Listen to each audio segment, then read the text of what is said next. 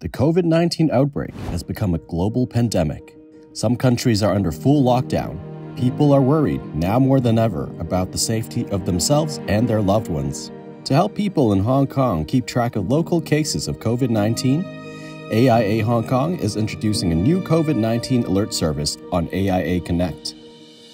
Leveraging on geofencing technologies and data from the government, the app provides mobile alerts to users when they approach buildings with probable or confirmed outbreak cases.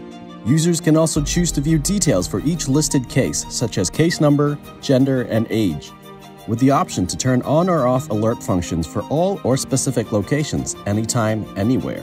Virus related information, useful tips and advices, as well as the support from AIA provided to its customers, can also be accessed with ease via AIA Connect going above and beyond to provide you with care and peace of mind. To experience this innovative digital service, download AIA Connect now or contact your financial planner for details.